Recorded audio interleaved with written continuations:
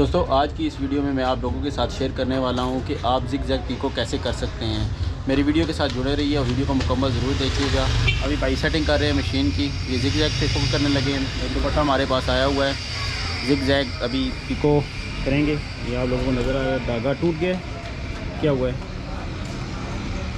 टूट गया। टूट गया। ये धागे की सेटिंग होगी। फिर इसके बाद जो सा पीको स्टार्ट करेंगे। अगर आप पीको की मशीन के अंदर धागा डालना चाहते हैं तो हमारी दूसरी वीडियोस को विज़िट करें। वहाँ पर हमने बताया कि धागा कैसे डाला जाता है उसकी सेटिंग कैसे की जाती है। ये देखें ये तेल लगा रहे हैं। ऑयल है?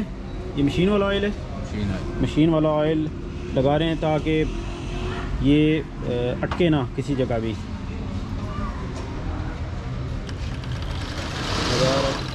ये आपको मैं दिखाता हूँ। इस पोजीशन में आपने ये रखना है। और चलाते रहना है। मुसलसल।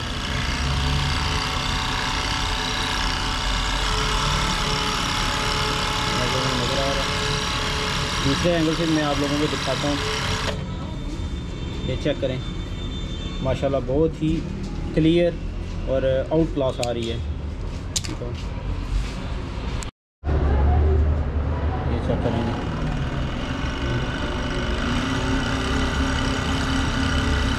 अगर आपका हाथ, अब अगर आप अपने हाथ को तेज़ चलाना चाहते हो तो उसके लिए प्रैक्टिस चाहिए होगी। आप प्रैक्टिस करें, उसके बाद परफेक्टली ये देखें कितनी क्लियर आ रही है।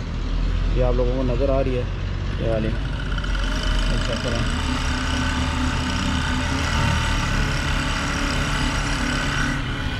दोस्तों उम्मीद करता हूँ कि आज की ये वीडियो आप लोगों को पसंद आई होगी। अगर वीडियो पसंद आई है चैनल को सब्सक्राइब कर लें और मज़ीद किसी किस्म का कोई भी सवाल है तो कमेंट बॉक्स में आप डाल दें। इन अगर कोई इन्फॉर्मेशन कारोबार से लिहाज से ही आपको वो भी हम आपको बताएँगे। एक हमने सादी पीको रखी है फैंसी पीको मोती पीको हर किस्म की पीको यहाँ पर करें डिज़ाइन आपको मैं दिखा देता हूँ। ये सारे डिज़ाइन लगाए हमने नज़र आए आप। ये चेक करें ये एक और नया डिज़ाइन आ गया ये भी इंशाल्लाह आपको अनकरीब हम दिखाने वाले हैं। ये पीको करके ये वाले। आप लोगों को क्लियर नज़र आ रहा होगा ये वाला। अगर आपको मालूम चाहिए लेस से मुतलका, वो भी हम आपको देंगे कॉस्मेटिक से मुतलका चाहिए, वो भी हम आपको देंगे, लेकिन इस चैनल के ऊपर हम ज़्यादातर सिर्फ़ और सिर्फ़ पीको से रिलेटेड बात करते हैं। जो लोग पीको सीखना चाहते हैं, वो ज़रूर इस चैनल को सब्सक्राइब करें। यहाँ पर जितनी भी नई अपडेट्स आती हैं, वो हम डालते रहते हैं। जो नए डिज़ाइन आते हैं, वो भी हम डालते हैं। खुदाफिज पाकिस्तान, जिंदाबाद।